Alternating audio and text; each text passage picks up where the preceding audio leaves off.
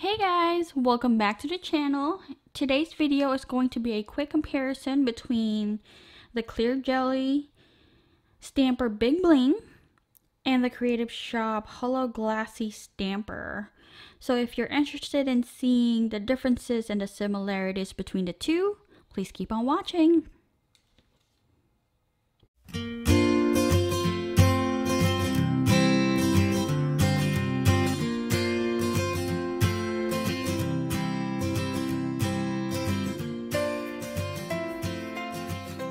So in my nail stamping lifetime, I have tried quite a few of the stampers that are available out there. From squishy stampers to other clear stampers, sticky stampers, different colors, and from different brands. Um, I started out with um, Winstonia and Born Pretty. I have uh, stamping or stampers from Dixie Plates, Konad, uh, Pueen, MoYou London, Sissy and Sissy. And the one that I always went back to is the Clear Jelly Stamper Big Bling. So you can say that this was, or this is still um, a holy grail stamper for me. So when Creative Shop came out with their own clear or clear jelly, or I guess they call it something different. Um, their holo glassy stamper.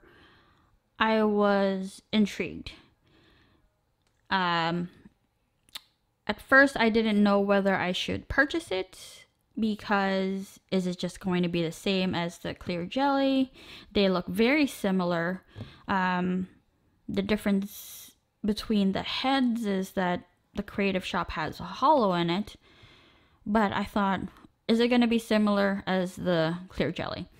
So for my birthday, I went ahead and got it uh, from Lantern and Wren. And now I can bring you a comparison between the two. So what do you actually get when you get the stampers? For the clear jelly stamper big bling, what you get is the stamper itself right here. And a scraper card which I love their scraper card. This is the only one I continually use. I have so many scraper cards from different companies. Um, but this is the one that I use the most because of the stiffness of it and the probably should be in frame right? Because of the stiffness of it and the size. I think it's perfect. It's not too small it's not too big.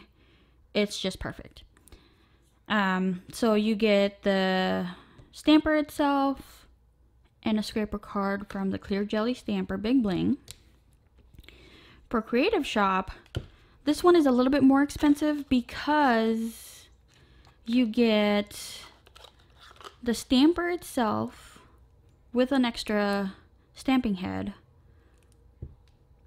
two scraper cards, and two scraper cards, I should say.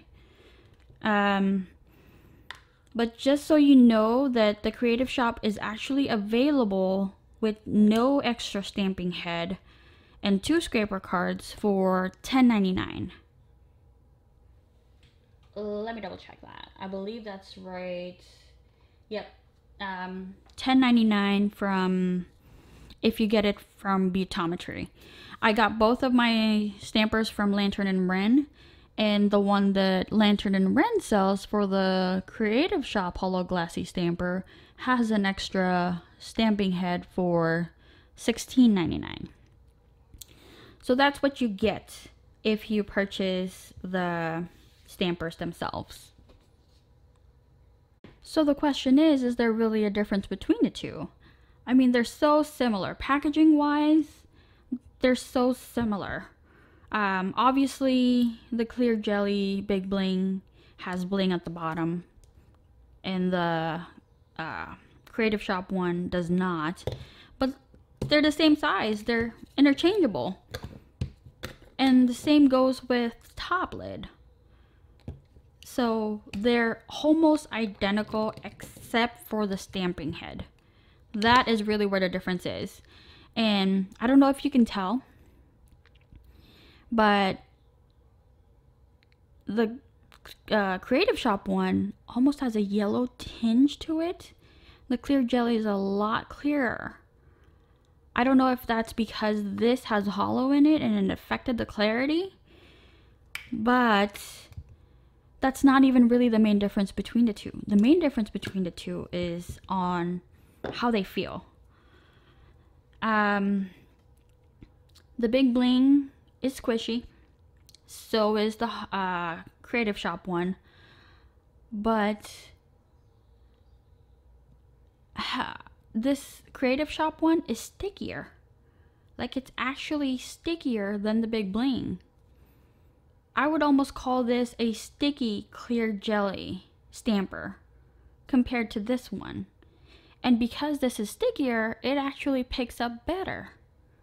Like um, the clear jelly big bling, there's a learning curve in figuring out how to pick up images with it. Like it has to be a flick of the wrist, as they say.